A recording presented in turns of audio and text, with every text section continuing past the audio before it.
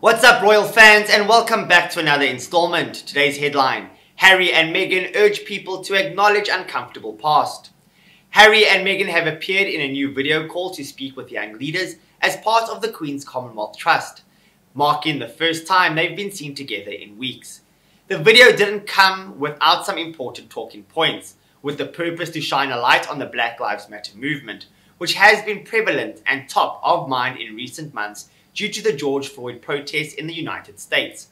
In the video, Duchess said to call the attendees, we're going to have to be a little uncomfortable right now because it's only in pushing through that discomfort that we get to the other side of this and find the place where a high tide raises all ships.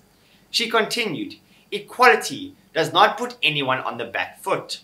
It puts us all on the same footing, which is a fundamental human right.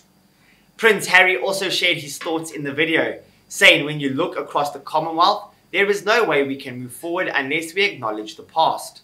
He added, so many people have done such an incredible job of acknowledging the past and trying to right those wrongs, but I think we all acknowledge there is so much more still to do. It's not going to be easy, and in some cases, it's not going to be comfortable, but it needs to be done. Because guess what? Everybody benefits, he said. The video call took place on July 1st, which happened to be Harry's late mother, Princess Diana's 59th birthday.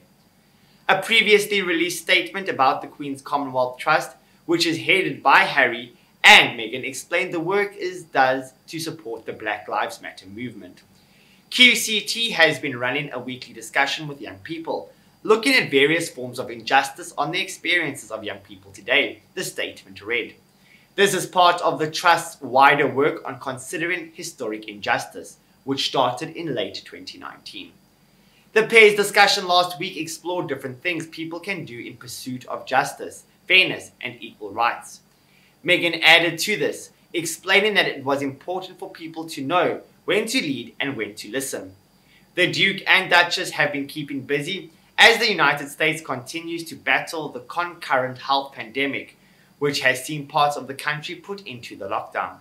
The pair have remained in isolation for a number of weeks before slowly beginning to emerge to help others in their local communities.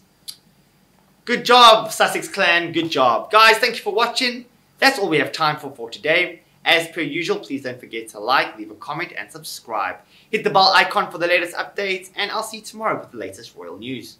Goodbye for now.